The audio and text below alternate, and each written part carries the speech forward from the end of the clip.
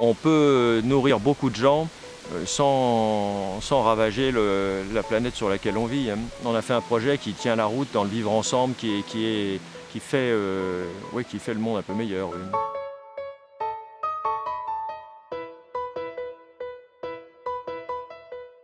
Ça a démarré il y a, il y a deux ans avec un petit, petit groupe, un tout petit noyau qui a eu envie de monter une opération de type jardin partagé. On a mis un règlement intérieur qui notamment exclut tout ce qui est produit phytosanitaire. Euh, C'est obligatoirement, si on vient ici, on accepte d'avance de cultiver bio. C'est mieux pour l'environnement, c'est évident. C'est mieux pour la pérennité des terrains qui sont cultivés.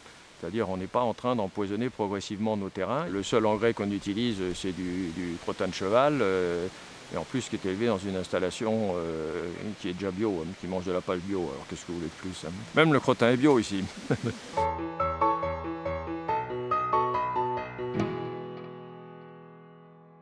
C'est une garantie d'avoir une nourriture saine qui, dont on sait exactement ce que le produit a subi. Il n'a pas subi de produits euh, bizarres et étranges pendant la culture, il n'en a pas subi de traitement pour pouvoir être stocké dans des, dans des frigos. euh, il n'a pas été transporté en camion pendant, sur euh, 2000 km ou en avion. Il n'y a, pas insidieusement des produits qu'on ne souhaite pas avaler qui vous sont donnés à manger. C'est un produit dont on sait exactement la vie depuis le début jusqu'à la fin.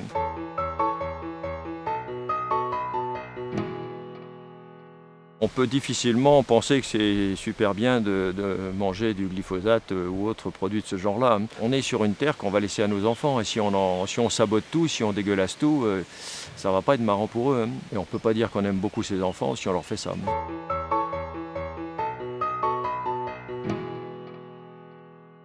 C'est important de, rencontrer des gens, de ne pas rester tout seul dans son petit coin, de- de- de- d'entretenir des liens d'amitié, de- d'échanges de connaissances, de, tout un tas de choses. On pourrait imaginer de mettre des parcelles et puis dire on s'occupe pas plus que de ça, les gens viennent jardiner et puis c'est bon. Quoi. Le fait de, créer autour de ça du, lien, c'est un peu plus fort que, de donner de la terre à cultiver. Au-delà de la nourriture euh, purement matérielle, c'est bon, les bonnes tomates, c'est drôlement bon. hein. Mais euh, le, fait de passer un bon moment avec de- des gens avec qui on s'entend bien, c'est important, oui, ça donne du, ça donne du sens à la vie au-delà de la nourriture. hein. À la limite, je dirais que égoïstement, j'ai de quoi m'acheter de la nourriture bio et d'aller dans un magasin bio, même un peu plus cher que, supermarché. Mais euh, c'est pas pas le, but de ma vie, c'est pas de, courir à travers la région pour trouver des produits extraordinaires. Le vivre ensemble, c'est important.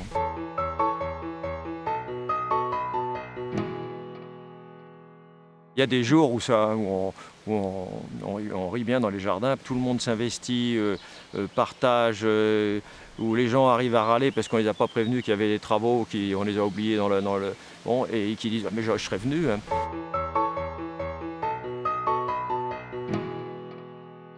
Les, mes légumes sont meilleurs que ceux qui sont vendus dans le commerce, mais je le dis, je l'affirme, oui, effectivement, ils sont bien meilleurs. Ils sont bien meilleurs. Mes tomates, elles étaient drôlement bonnes, ça je peux vous dire. hein. Une tomate qu'on cueille là sur le, plan qui est encore un peu chaude et tout, à manger comme une pomme comme ça, c'est c'est sublime. La récolte, au début, quand on commence à récolter, c'est un plaisir de roi. La première tomate que j'ai ramassée là, euh, vraiment, je l'ai mangée avec euh, religieusement, religieusement. Les variétés qui sont euh, qu'on connaît dans le commerce euh, habituellement, euh, qui sont classiques et qui n'ont plus aucun intérêt, plantées et, cultivées comme ça, vraiment, c'est plus la même chose.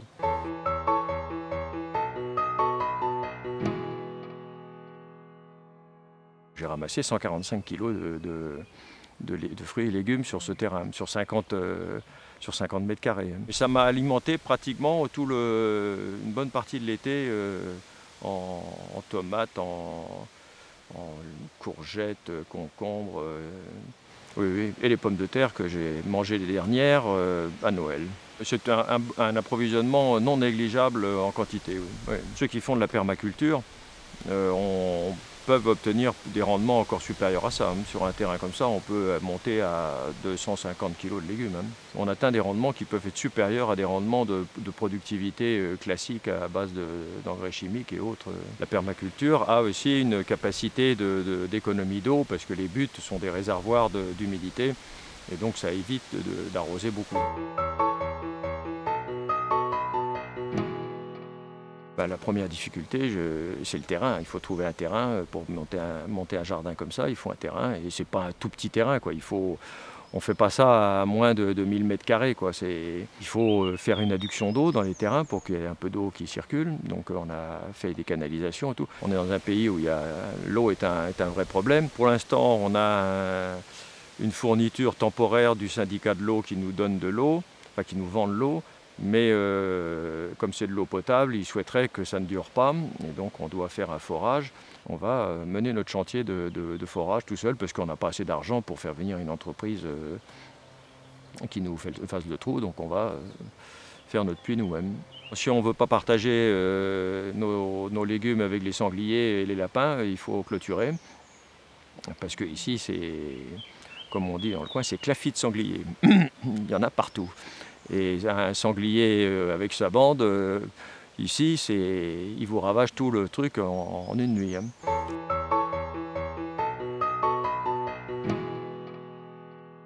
Pour faire un projet comme ça, d'abord il faut vraiment en avoir envie. Hein. Autrement, c'est pas la peine de se lancer là-dedans. Après, il faut trouver un petit noyau de gens euh, aussi motivés que vous, qui ont envie de faire ça. Et il faut euh, ben, se lancer, chercher le terrain, euh, faire les statuts, les déposer, euh, faire un règlement intérieur et tout. Et après, il faut, chercher les, candidats pour venir. Et après, ça, si vous avez trouvé le terrain, ça roule.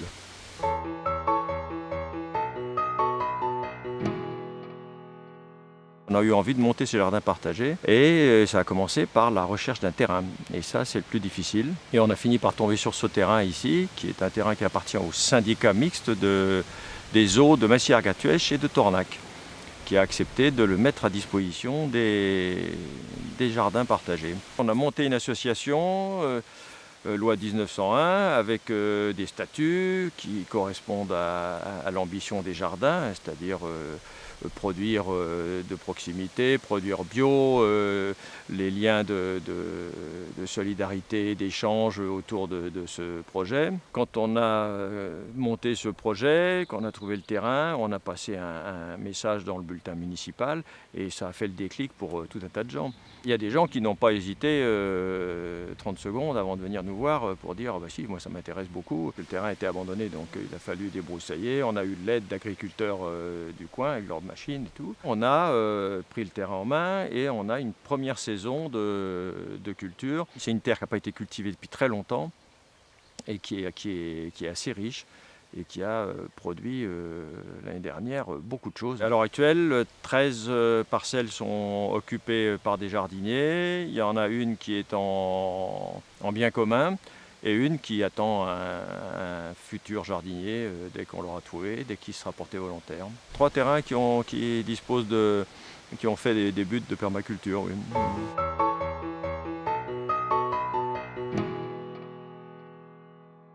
Ici, il y a une sensibilité bio assez forte.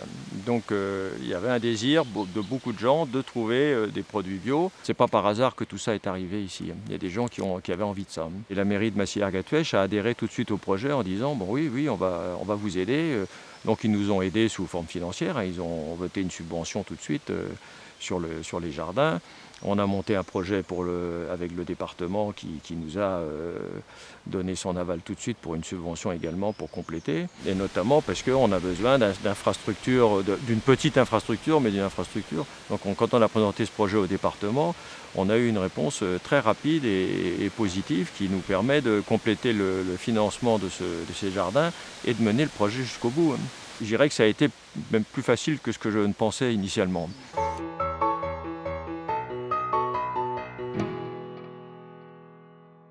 La plupart des gens qui sont ici n'ont pas de jardin du tout, parce que leur maison ici, dans l'habitat, il y a beaucoup de maisons dans les hameaux qui n'ont pas de jardin du tout.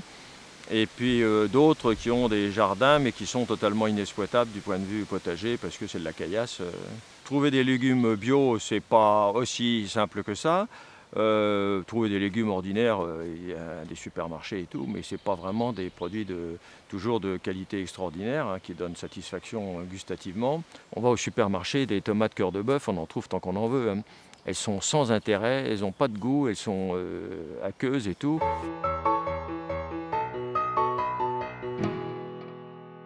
A de l'entretien collectif. Donc on fait des, journées d'entretien où, tous ceux qui peuvent venir ce jour-là viennent, on entretient les jardins, souvent on fait un petit barbecue derrière, euh, on boit un coup, euh, on construit une cabane pour les jardins, il y a tout de suite 4-5 euh, personnes qui viennent construire la cabane pour les jardins. C'est pas tout seul, il n'y en a pas un qui se tape le boulot. Il y a beaucoup d'échanges autour des techniques de culture. On est il y en a qui, sortent des radis qui ressemblent à des cheveux, d'autres qui sortent des radis qui sont gros comme des betteraves. Bon, euh, on peut discuter autour de, pourquoi, pourquoi cette différence et faire progresser les uns et les autres par, des échanges d'expériences croisées. Hein. C'est soit des couples, soit des personnes seules. Hein. Il y a des, couples qui viennent jardiner à deux, il y en a qui viennent jardiner tout seuls. Euh, on a mis en place aussi un, blog pour qu'il puisse y avoir des échanges de de pratiques, de calendrier, de, photos quand il y a des, petites, des petites euh, euh, euh, journées d'entretien collectif, de barbecue et tout. Donc on met tout ça dessus et ça, ça profite à tout le monde.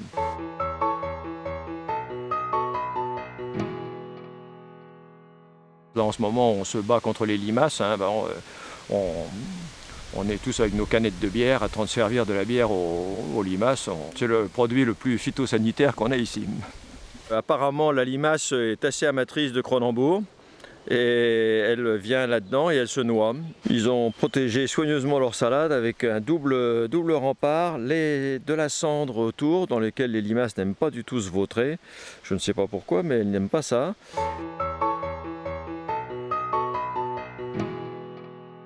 Au centre, il y, a un, il y a un fagot de bois mort qui de bois mort, de paille, euh, ensuite de la terre, et ensuite on repaille par-dessus. Et ce bois mort, euh, d'abord il émet de la, matière en décomposition, et en plus euh, ça maintient une humidité au, centre de la butte, et la, la plante fait ses racines dans un milieu humide sans qu'on ait besoin d'arroser énormément.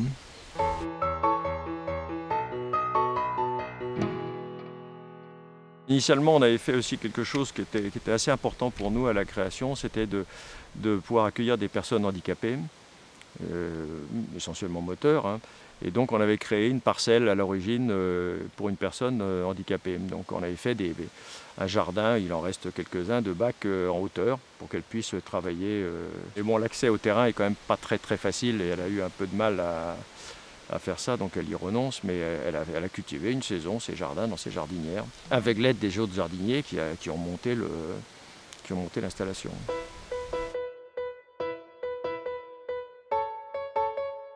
Des expériences comme ça, l'idéal, il, il en faudrait beaucoup plus. Il en faudrait beaucoup plus.